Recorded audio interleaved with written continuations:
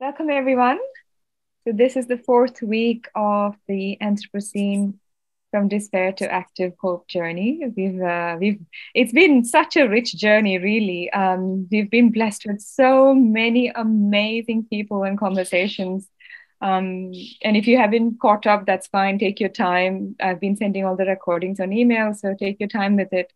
These are conversations that require time. You can't um, force your way through them. So um, take your time and welcome back. Happy to see familiar faces. Um, so today we have Meena, Meena Subramaniam, whose work I have admired for a very long time.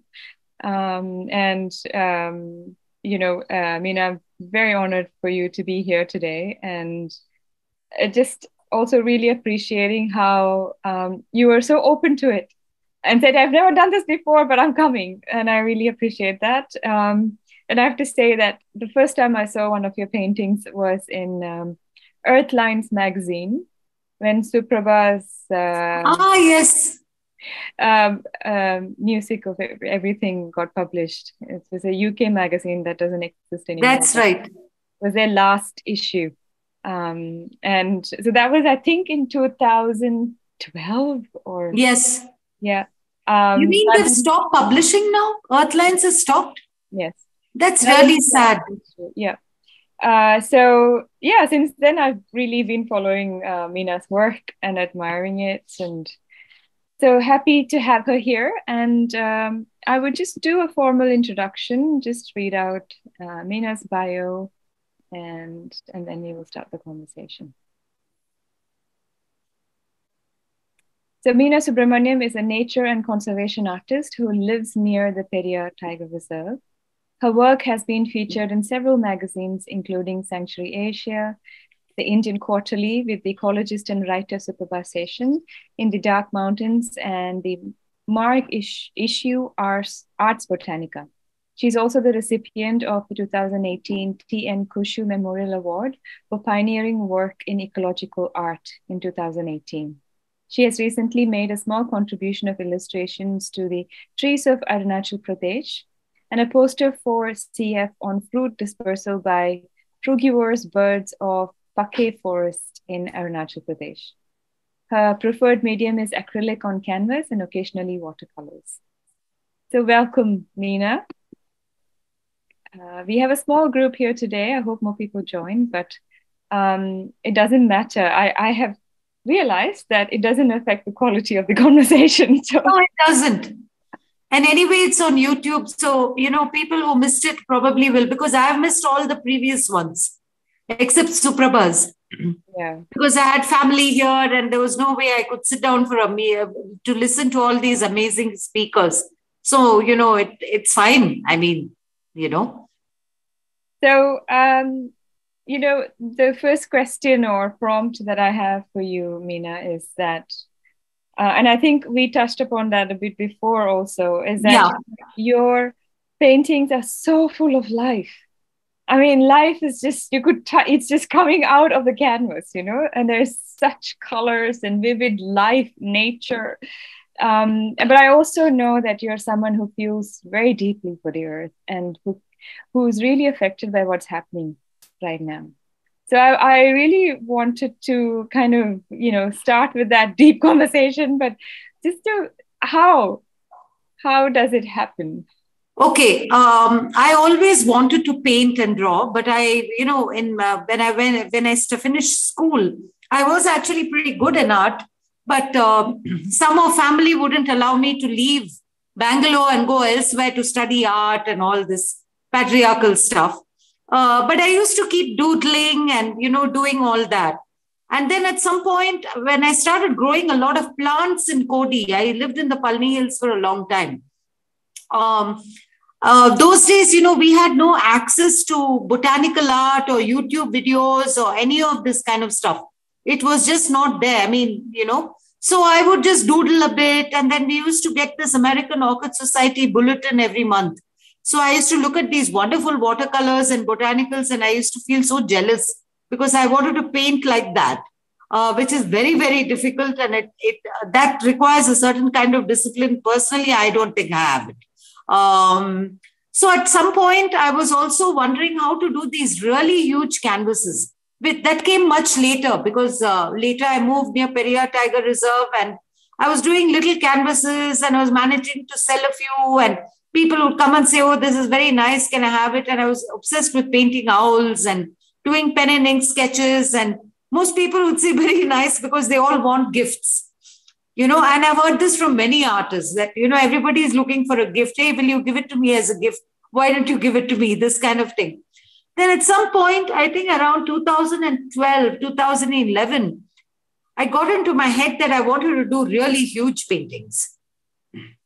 It was just something in me, like, you know, it was something that I constantly fantasized and built up in my mind that I would one day do really huge paintings, uh, not small things and everything, because what I dreamt of, what my thing was to was to capture as much as I could of this, the sheer grandeur of nature, you know, the sheer grandeur of the Western Ghats, and then much later, even Arunachal Pradesh and the Northeast. So for me, it was just a sheer grandeur.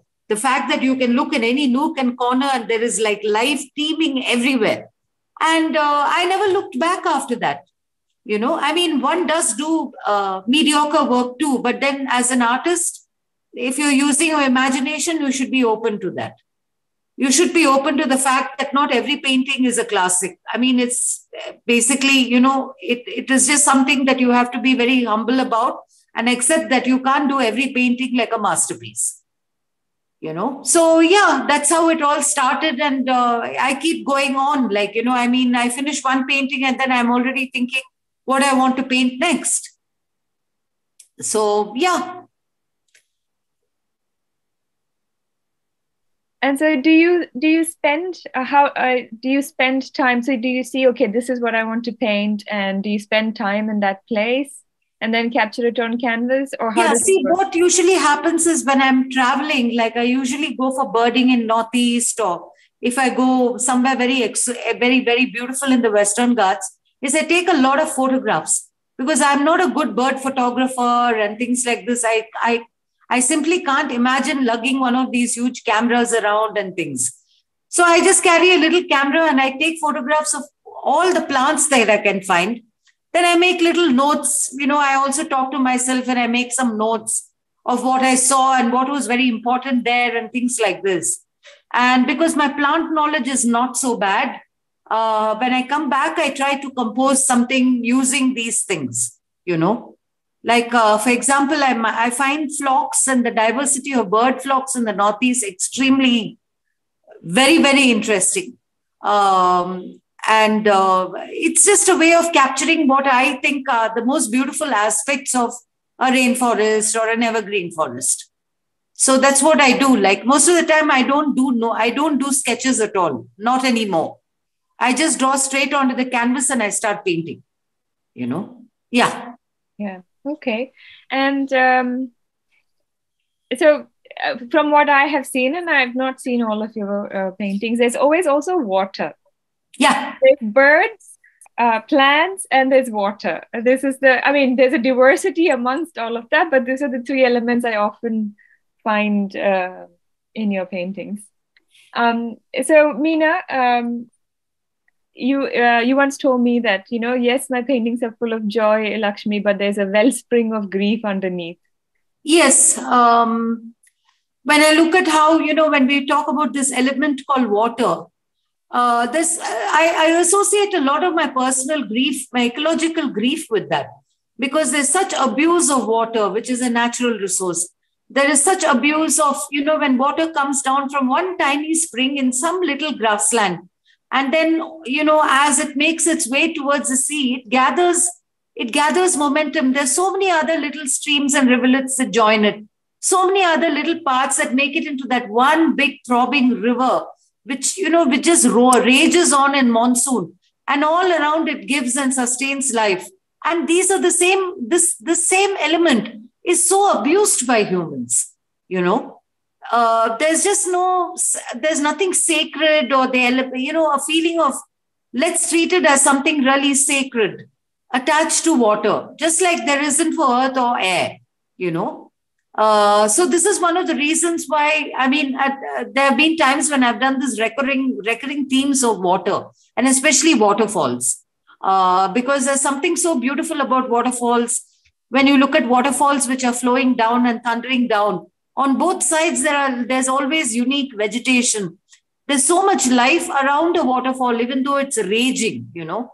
And the same waterfall then becomes a stream, and around it are so many little creatures that are feeding on it there are animals that depend on it and then you know humans of course. I mean we we depend on this and at the same time we abuse it so much. You know we don't really think about treating it with respect. So that's one of the reasons why you know i composed a few with water because i it came from a place of deep ecological grief. Um, and uh, I mean, when you were traveling and looking for inspirations, have you come across landscapes that were degraded uh, that you thought you could? Um, just are there any stories from your travels that you felt, okay, I need to paint this, but maybe I'll give it life? Um, yeah, like I remember the last time I'd gone to the Mishmi Hills, at, I think it was 2000 and 16, I think 2016 or 2017. Uh, this is one of the most beautiful areas in India. It should have been preserved as is Veris. There was no need to go and meddle in it, but then they started these. They started this road work, and they just destroyed both sides of the road. And wherever this road is going, it's just complete decimation of everything. And as this decimation continues, um, there are a lot of dry spe- dry land species and exotics which are moving in. Um, things that you would never see before in the Mishmis because the first time I went there was in 2008, I think, 2008 or 2009, and it was pristine. I think there were only five outsiders there, and one of them was me. And, uh, you know, suddenly I go there in 2016 and it's not bird watchers and people who are interested in nature are coming. It's like there is this serious presence of people who have just come to just party in the Mishmi Hills. And it's, um, you know, and then there is this whole thing with these roads which are creating so much, they've created so much destruction. Uh, what, like, you know, common species that you find in the Northeast and also extending into Thailand, like, uh, uh, you know, Tacca, there is one which is called the bat flower there were, there were mountainsides clothed in it. It was just clothed with vegetation. This is all dried out because they've just blasted helter skelter to build this road and uh, chopped so many trees and disturbed so much with this dynamiting and everything uh, that I came back and I thought, no, I want to do these two paintings, Garden of the Gods. I think part two is the one I sent you uh, for me, which is like um, it's representative of a paradise without humans. I, I'm just going to share my screen and and show this particular yeah. thing that um, she's talking about. So this is mid elevation of the Mishmi Hills, and there is this very pink flower on the side which you see, which is grown like a spike. That's a newly discovered uh, species of Lisianthus. I think when I came, when I was there, I had taken photographs of it and, you know, it was a dried seed. I had taken a photo of it. And when I came back, when I was doing a little research on some photos of uh, plants that I had taken, I discovered, I found out that it was recently discovered. It was discovered like three months before. So, and this was bang on the roadside. So, what are we really doing with this road building and, you know, all this when species are just being discovered by roadsides, new species? Uh, so yeah, I mean, it, so you can see that it, for me, it is, it's, it's just, I'm beyond anger now. It's more like uh, completely like, you know, let's take this and let's make it something really beautiful. Of course, a client, uh, somebody I know commissioned me to do paint this. But my thing was like, she said, I just want lots of birds. And I said, no, I want to paint the Mishmi Hills for you and I'll put in as many birds as I can. So it's a bit of a crowded canvas with all the birds but the, that particular elevation these are the things that you find so i had to you know i had to simply paint them oh I um, Meena, when you speak, I feel like you know you say I had to simply paint them as though there's some other something else speaking through you, as you say. I just had to paint them, uh, the hills maybe. Um, and Meena, you had sent me a few others. Um, if, if you like, I can show those paintings and you can sure. talk a little bit about them. Okay. So this is my kind of ode to the, you know, the high ranges and the grasslands of Munnar and Palni Hills, uh, because they are high elevation grasslands. And as they come down, there are all these beautiful birds and everyone who's kind of, what do you say, um, admiring the water that's flowing and admiring the waterfall. And they are an audience and a very appreciative audience to the grasslands, which are high up above. And I've also added uh, an exotic there, which is this Ipomoea ueliflora, uh, you know, the purple flowers, because yeah. they are now become very commonplace in the in uh, most of uh, most uh, um, areas which have become disturbed. You see this ueliflora everywhere. Uh, it's taking over. You know, it's growing all over. Kodai Hills is is is is like clothed in it. Everywhere you find it, it's very pretty. It's very nice. But the point is that I mean, it is an exotic. And uh, though I have no problems with the plant, I just often wonder why aren't the you know indigenous flora more represented there than you uh, you know this particular thing. But it's something that I associate very much with the high ranges. This particular flower, you know. It is a beautiful flower. Yes, it is. It's a very beautiful flower. So are lots of other flowers. And these yellow flowers are also very pretty. Yeah, those are tithonias. That are, those are native and common. You know, they're native and common. They do weed around, but it's much better to have them around than many other weedy colonizers. You know. Yeah, Forest Friends actually is one of my earliest works uh, I think I had finished this painting and it got published in Nat Geo, some e magazine that they had. Um, it's got some native plants because for the first time I attempted drawing impatiens, which are those orange flowers. Uh, it was actually Impatiens verticillata. And then there is Monstera, those big leaves at the back, and these white flowers, small white flowers are all um, uh, fragrans, which is also a native. But on the side, I put a trumpet of the Datura, you know, the Datura's trumpet, because now that's also a complete exotic and it's completely taking over landscapes. Uh, it's everywhere now, you know. And though I do love them, I absolutely love Daturas. Uh, I'm, I'm just quite tired of seeing them everywhere. You know, they, they've been, uh, they suppress a lot of forest growth and they come up. Um, these are, of course, the racket-tailed drongos, which are very common where I live. And I've always found them extremely fascinating, and I think they're very beautiful birds. So it was just a painting I did, you know, I just composed it and I painted it in about a month straight from the heart because I really wanted to paint these things together very much. And it's very old. It's a, maybe I did it in 2014 or 12 or something like this. I noticed the owl sitting there. the like a bit of like it's very beautiful.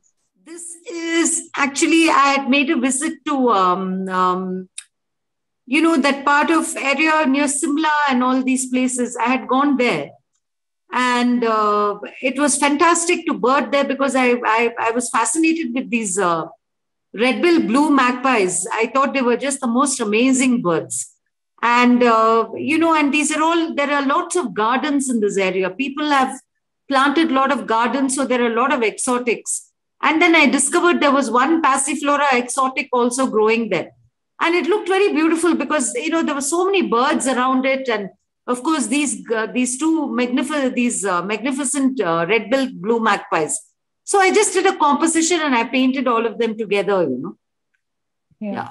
that's beautiful Actually, it was Kasauli. Uh, oh. It was in Kasauli, yeah. Yes. Lots of people, but uh, very little primary forest left. Um, but birds seem to be happy, but the thing is, there's hardly any primary forest or natural vegetation left. This is my last painting. Yeah? Okay, uh, there was three years of COVID, right? So. I'm kind of homesick for the Northeast, but I'm stuck with work, so I cannot go anywhere. So this is a flock fantasy, and it's a typical lower elevation uh, flock diversity, bird flock diversity. And I was just telling you about the Mishmi Hills, where this road blasting and road making is damaging things. These yeah. are the birds that you find in that area in very, very high numbers, and they are dwindling because of habitat loss. Uh, we don't know how this is going to go because our low elevation birds and things going to move upwards. And if that starts happening, what is the fate of these guys? Um, I don't know, but uh, it's actually a very homesick painting. It's really I'm I'm kind of homesick for that area, you know uh, well that's what it is it's basically i'm a, i mean and there are these little berries at the bottom uh, that's an indigenous tree from the northeast which a lot of birds feed on and they also disperse they fruit disperse these trees it's called Micromelum um, and of course these are all the birds that you find in one composite in one area you will find all of them together and maybe even more you know uh, because this was a small canvas of uh, three feet by four feet, I could only put this many. If I had a larger canvas, I would have put more. wow. Yeah, I wish I could see the world through your eyes, Meera. Really. I think it would be a very colorful world. Um, yeah, so I'll, uh, I'll stop the sharing there. Um, and perhaps we can open up the conversation because we just got Supriya and Rukmini here with us right yeah. now. And I'm sure they have comments or reflections or questions.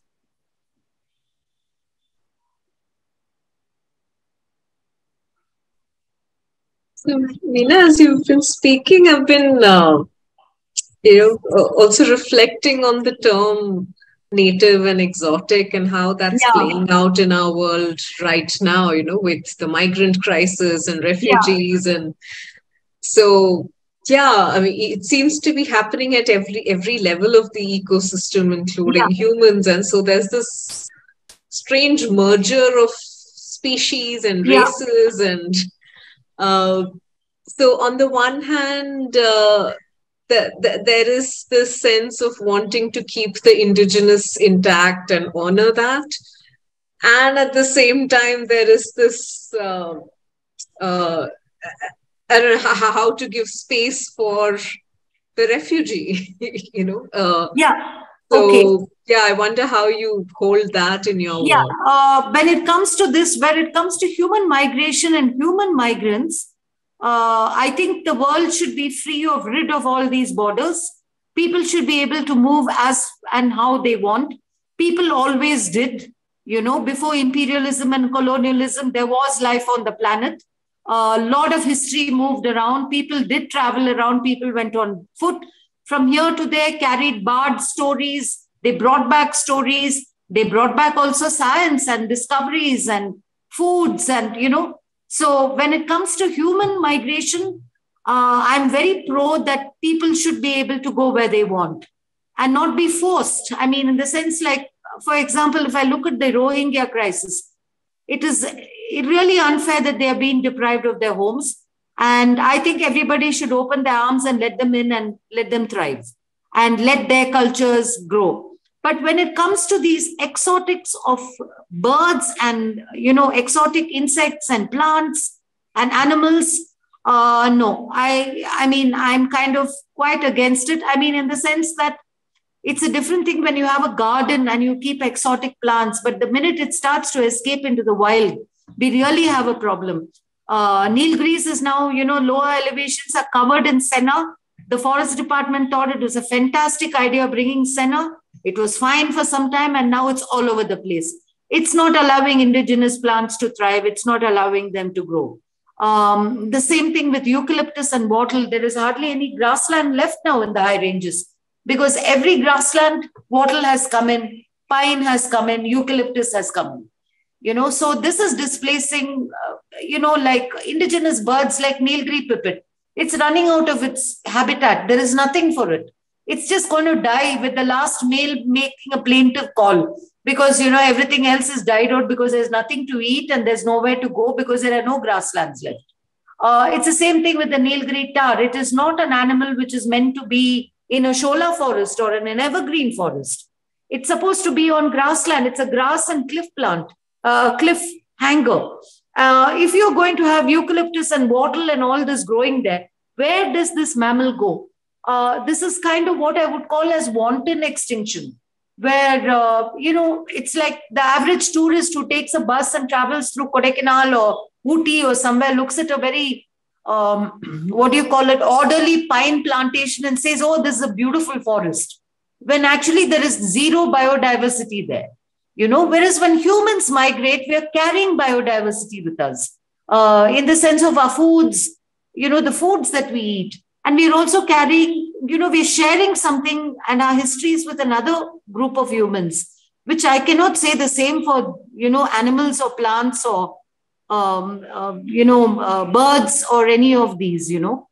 Uh, there's also been like a couple of times I've seen now on the internet that people just release um, aquarium fish. They don't want an aquarium fish anymore. It's an exotic. They release it into, into you know, into rivers and streams. That's displacing our own native uh, fish. Uh, where do they go? What happens to them? I mean, introducing catfish in a freshwater pond, pond where there are indigenous uh, fish. Catfish eat everything. There's nothing for these indigenous fish. There's nothing for, um, you know, for storks and for water birds to eat because they can't eat catfish. So when you look at this, I think human mig- humans and their migrations and humans creating migration of other species are completely two different things.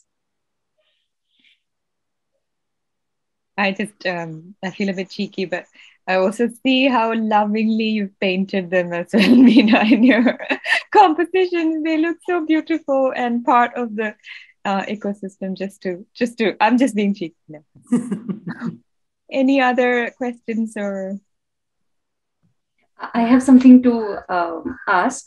Uh, I, I, see that you you, uh, you, have an understanding of taxonomy, and somehow you uh, manage to uh, bring in that bit which enhances the beauty of the painting. Uh, usually, I observe that when uh, one enters the sort of drab world of taxonomy, you sort of miss on the forest experience.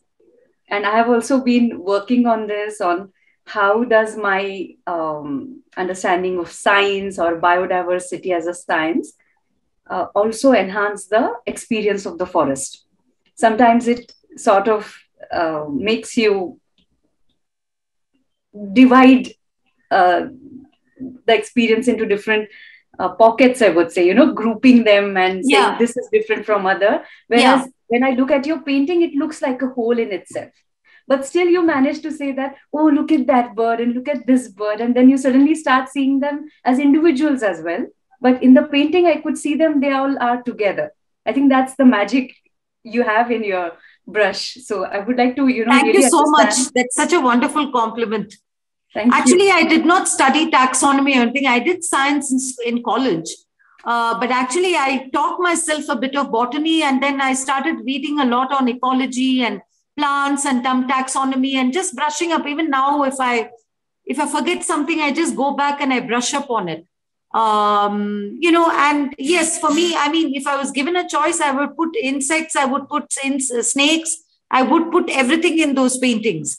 Uh, but the problem is that when I put when I put insects and snakes, a lot of my clients don't like it. They say it frightens them.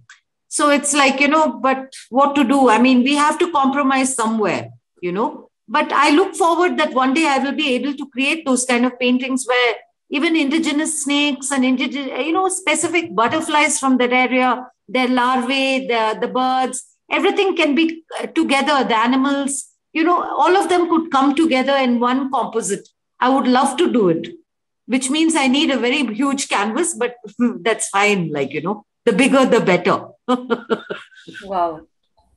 And how about your journey of, you know, understanding them as uh, through the plant taxonomy or taxonomy perspective and then connecting it with your art background See, the thing is, I am a gardener. I mean, if I wasn't painting, I would be gardening. I would have run a plant nursery or something and been gardening because I love gardening.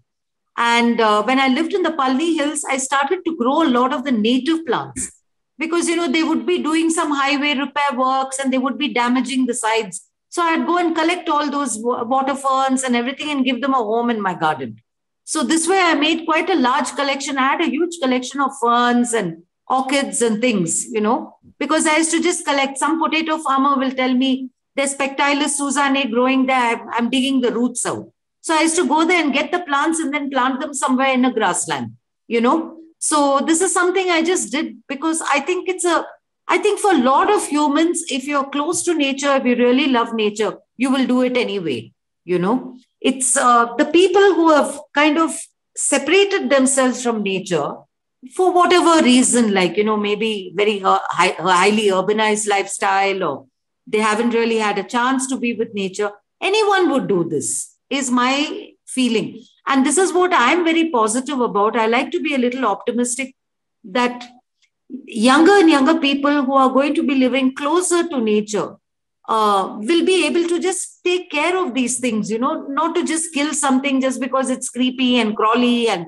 you know, not just to mindlessly kill a snake because it's poisonous or these kind of things. I think those things are really important because several individuals doing this for parts of biodiversity can become a huge movement without even defining it as a movement because they've just made it a part of their daily practice to always help to you know there's a larva on you know on the curry leaf plant and it's uh, it's a butterfly that's going to feed on it you just leave it alone. You make sure it's okay, you know, so that its life cycle can go on. I think in these kind of, I feel somehow that these small things done by many individuals can have a very powerful effect because we are actually protecting at least parts of nature.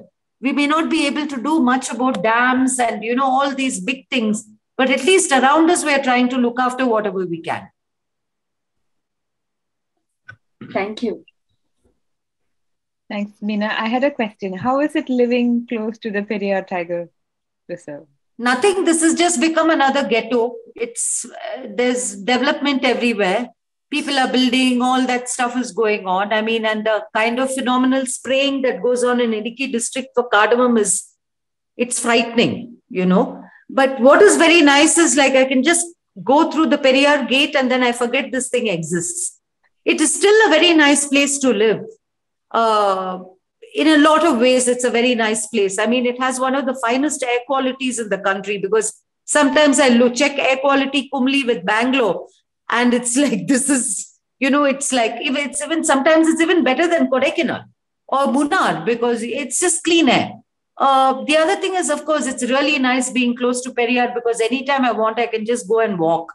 And when I'm walking in the forest, I don't really have to, I forget that this thing exists you know the outside exists that's that's one of the things and of course it's quite central in the sense Idukki district itself has Munnar, it's got Pambadum Shola, it's got all these places close by. So you can always go for a walk somewhere, or you can take a, you can go there and you can go around, or you can do something.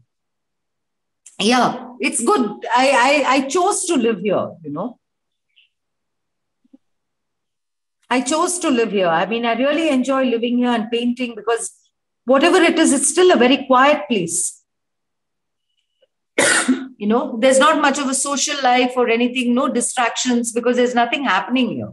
You know, there's really nothing happening here. It's like, and it's brilliant because either you go into the forest and you walk and you bird and you do your thing and do whatever you want to do, you know, observing animals, whatever, and you come out and then there is really nothing unless you're really focused on painting or your garden or whatever, there is really nothing to do here. So a lot of people come here and say there's nothing here. And I'm like, right, that's why I live here, because there's nothing here, you know. There's only birds and mammals and all this. And I mean, a lot of people don't want that. They want other things. So anyway. Do you paint mammals? I have uh, the Sanctuary magazine cover. Did I send it to you? No, I don't. Uh, Nilgiri Marten? No. uh, how do I? Uh, no, that's okay. You... that's okay. Maybe I'll I'll send it to them on an email later. Yeah, yeah, it's there. I will. I can send it to you on email. I think I have it on my phone, but I can post it later. Like I can send it to you. So I did a cover for Sanctuary magazine with the Nilgiri Marten, uh, and uh, basically just Pamba Shola because. For many years, I was involved with the, you know, the Unilever's mercury thermometer factory issue in Kodai I worked on that for many years. So I'm sort of very committed to be anti-industrial pollution and that, you know, pollution control board should be a little more aware. They should become citizen oriented more and citizens should be participating in them uh, to bring these guys to book and keep them in control. Uh, so this basically this was a painting I did out again out of very deep grief. Um, They've, they lost about 11.4 tons of elemental mercury, all discharged into Pambar Shola. And uh, this is Nilgiri Marten habitat. Uh, there is a lot of endemism there with plants, and all that water is going through Pambar Shola and it is going into Tamil Nadu's aquifers all along the Vaigai, Vaigai basin. So, which means like districts like Periyakulam, Theni, all their groundwater has got mercury in it because it's not one year of pollution, it's 18 odd years of mercury contamination. Um, so you know, I, I when uh, when I was asked whether I would asked if I could design the cover, I said yes, I would like to paint this because people should really know what this means. You know, I mean, maybe Pambar Shola doesn't have a resident star species as a tiger, but Nilgiri martens are also very highly endangered. There are only roughly around 2,000 of them on the planet. And uh, you know so it was my it was from grief that i painted it you know saying you know you just discharged all this. How is it going to affect these martens because they're feeding on reptiles.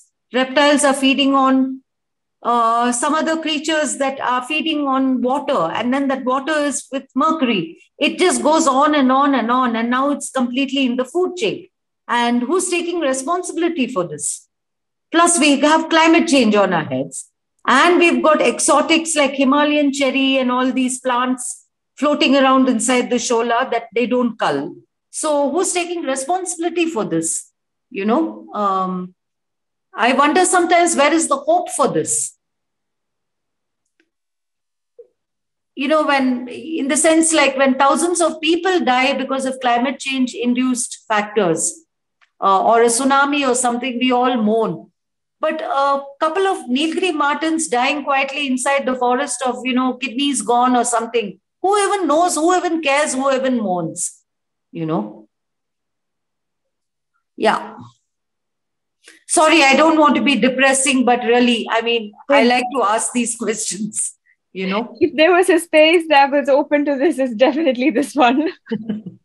For sure um, th- thank you for sharing that i mean and that's that's definitely and i'm still i'm still amazed i'm sure if i see that painting of the nilgiri marten it would be full of joy and life so there's I, I i feel that this is my take on it meena is that somehow you're able to take that grief and really alchemically transform it to some some form of active hope Yes, um, because I do believe that one has to keep hoping. One has to always believe that things are going to get better because there are new generations of humans coming in. Not every one of them is stupid.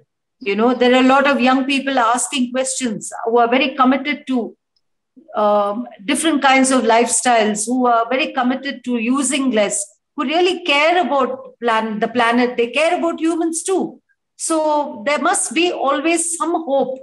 Uh, and the other thing is, you know, doing depressing paintings and depressing drawings, it just makes people feel more depressed because there's already enough depressing stuff on the planet. I mean, yesterday was like, you know, so many years since Bhopal, they never got any justice. How come they're doing it? They are living in hope. So why can't we live in hope?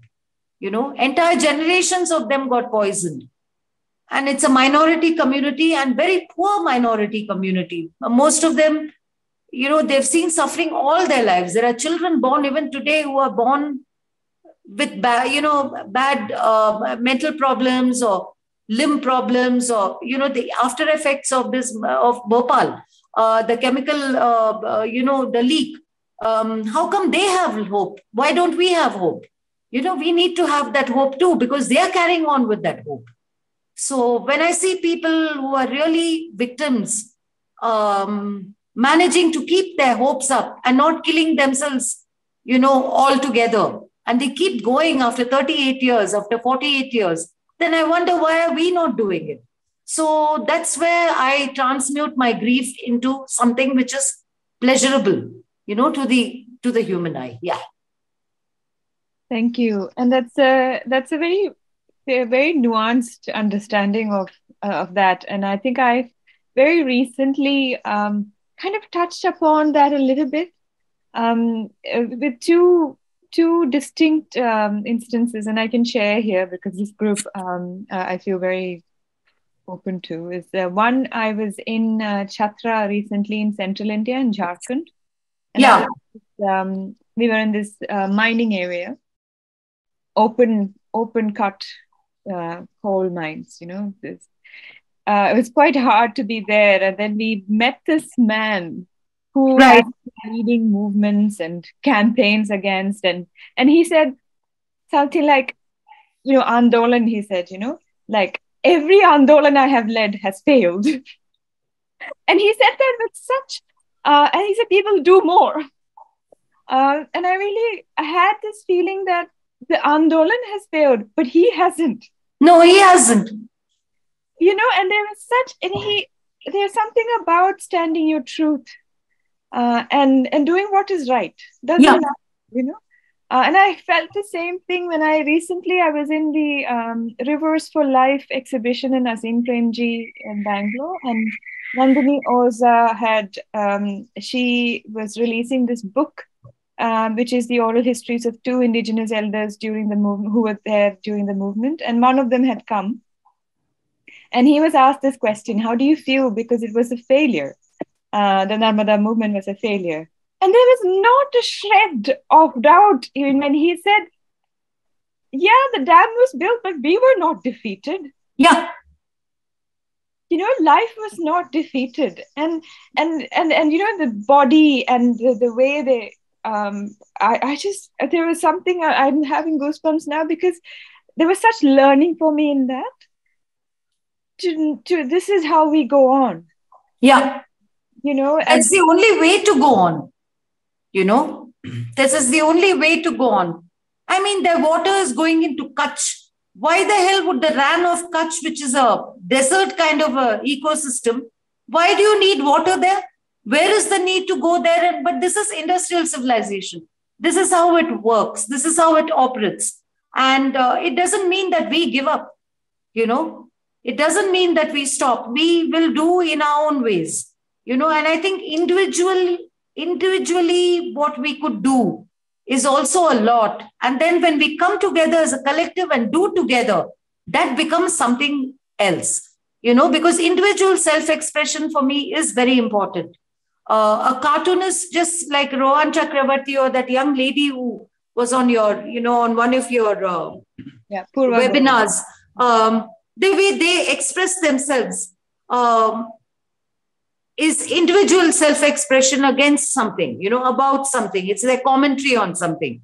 Um, but when we come together as a collective it becomes a very strong thing because different people are bringing different elements into it and creating something which is uh, which is which can go on. It's something that's solid then you know?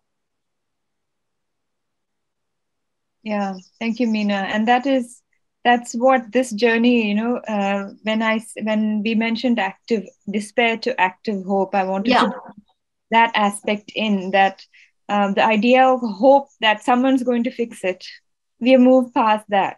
Uh, and so um, joanna macy gives a good example of this. And she says you know if you see oh you're it's you know your neighbor's house is burning and you know that it's burning and you're just sitting there going oh the fire engine's going to come soon you know someone would have called somebody and you're just sitting there. You're worried but you're just sitting there. Um, and then you keep seeing it burning you know and more and more. At one point you move from oh someone's going to do, go do something to i'm going to go. Yeah. And and that moment she describes as that's when you have active hope because you are active. And you know that something will be done. Yeah you know and and we all have our own ways of reaching that point or how we express that. Yeah. What we do how we do it. It's all you know our own journeys. But it's that point when we know that no one's going to come and make this right. I have to do what i have to do. Yeah. Um, and a lot of times you know uh, the thing i've realized also with climate change is i don't really socialize anymore. I mean i meet very few people really because most people don't want to talk about it people say it's very depressing there is nothing depressing you know but like most people like to think or assume that, oh, let's not talk about climate change. Let's just keep going on mindlessly shopping and buying junk that we don't need and, you know, all the stuff that you don't need, you don't really need. It's on some whim. You know, I need to get one velvet dress.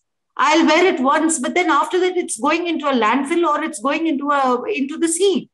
Um, so this kind of whim shopping and doing things on a whim there are a lot of people on the planet who do this. And if you broach the subject of climate change, the first thing they tell you is, it's so depressing. And then it's like, yeah, but it's not really depressing. It's just reality. And there are ways to deal with it. You know, first thing is stop buying things you don't need. You know, don't leave the water on when you brush your teeth. You don't really need to do that. But most people do that. Most people buy junk that they don't need oh, there's a COVID lockdown, fine, I'll go on Amazon and lot of things I'll never use. Just, just because I must, I have to do something with myself. You know, this, that the, the most people are in this stage right now. And um, I don't know when they will really snap out of it and start understanding that I don't really need to buy more than I know. I have four pairs of shoes. I don't need a tenth pair, an eighth pair, a fifth pair. I mean, how many pairs can you own? you know um, this kind of i don't know i think this kind of consciousness uh, comes with new generations i think you know um, probably your generation and younger this kind of consciousness because in my generation it's still a very small percentage but it grows and grows because i see this fridays for future how many young people are out there there's a climate rally in chennai so many young people are taking part you know, uh, uh, Greta Thunberg is talking. There are all these young people who want to be with her, like, you know, who are all 12, 13, 15. Uh, they seem to have a better understanding of the climate and they're not depressed talking about it. They're just very realistic. I mean, the kids are more grown up than the adults, you know. Yeah. Thank you, Thank you Meena. Uh, you mentioned the uh, the climate rally in Chennai. I have a personal, um, I had this little moment, my heart was like all flowering because years ago, when I was 18, 19, we had our little placards, five of us, and on Besant Nagar Beach with, you know, Nityanand, and the journalists. And that was, and now there are hundreds of young people there. And it's the same yeah. group. And, and, and I've just suddenly had this thing of, wow, you know, the how how it has moved on. So yes. Yeah, or Urur Kutam, and you know the whole thing that he started with native musicians being able to sing and kacheris and all. I mean, Niti is absolutely brilliant, you know, and uh, young people, now it's gone from strength to strength. There's so many young people everywhere rallying together and saying, yeah, we're fighting this. We're going to do this. We're interested in the fishermen and the coastline. You know, let us breathe. You're putting stuff into the Ennore. So, you know, into Ennore ash into the into the sea, you're destroying destroying livelihoods. More and more young people are coming out now saying we don't want this. You know, it's very, very, it's not even development anymore. It's some sort of retarded idea of how things should be. And even the people who are planning it don't have any clue what it's going to be. It's just mindless. You know, it's just a mindless thing. True. Uh, just to give uh, people who are probably yeah. listening to the recording a bit of reference to everything that was mentioned, uh, let, uh, let, me start with so there is the um, um, Justice Rocks music concerts that happen in Chennai um, every year. um, that relates to justice and people's movement and, and uh, also about climate justice. Um, there is the Vetiver Collective um, that also is organizing the climate rally in Chennai um, just this weekend. Yeah, today, I think, or tomorrow.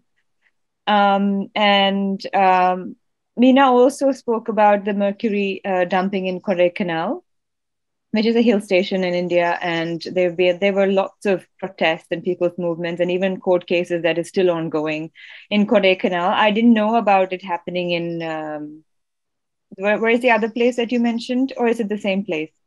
The I was talking about the mercury in Kodaikanal. Yeah, yeah. In Kodaikanal.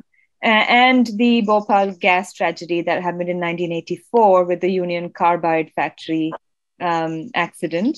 And I believe both are Unilever, no? no, um, one is Union Carbide, the other is Unilever. One is Bio and the other is uh, Unilever.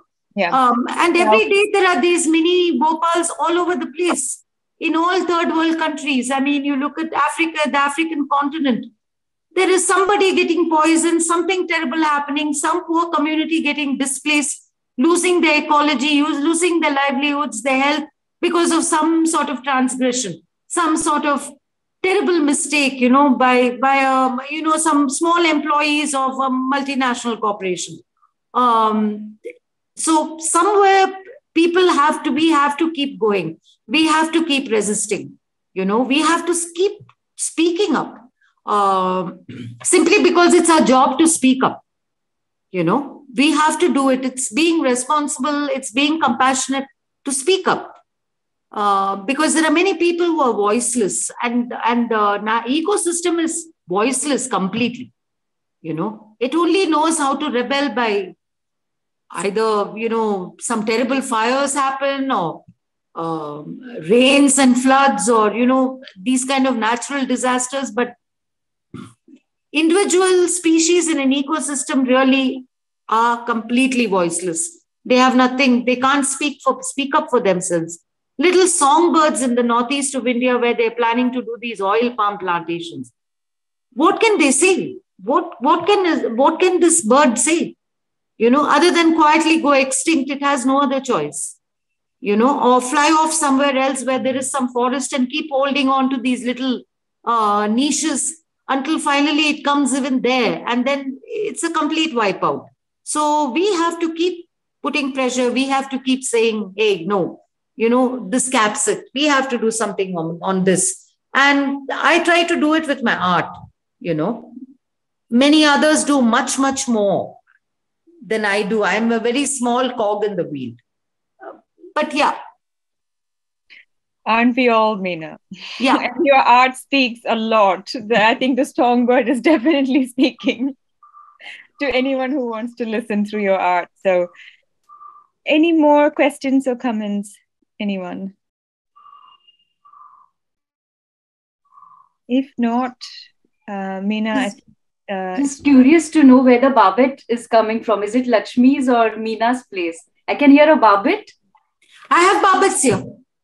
Yes, so nice to listen to it. Yeah, I have uh, just white the barbet here. Yeah, yeah, I have barbets here. Ah, we can hear it. Yeah. It's also joining our conversation. Yes. And I have cocoa. I have one cocoa tree here, and the cocoa beans are all for the barbets. Mm-hmm. I never pick the berries because they like to drill holes and eat it. And, uh, you know, around uh, when I first moved here, there was a lot of biota. Now it's becoming this typical Bangalore kind of, you know, a Madras kind of thing where people cut all their trees and they concrete and co- concrete their cement, their, uh, their lands, and then they just keep flowering pots and keep saying we're keeping it clean, keeping it clean. There is some sort of association here with soil being dirty. And I'm probably the only house here which keeps my house a little woody and jungly because I mean, I really like having a place for all these poor birds and birds to come and go. And I have a pair of mongoose in this little plot, which are just going to have babies. I think they've been, uh, you know, wandering around. So I try to keep whatever comes into my land, I'll leave it for them, like, you know, whatever is growing, if they want to eat, especially barbets love cocoa pods. So, yeah. Great. Meena, thank you very much. You're this most welcome. It was nice meeting all of you. Thank you so much, Lakshmi, for calling me. Yeah. Uh, Really appreciate it. Thank you so much for your uh, appreciation of my art. oh, the pleasure is mine. Um, and I hope we cross paths again. And yes. that your paintings keep coming and keep touching our hearts. yes, yes. The songbirds and the barbets and the and the grasses and the water bodies and a- anyone who needs a voice. I think. Thank you. Yes. Bye, Lakshmi. Thank you all. Thank you so much. Bye bye.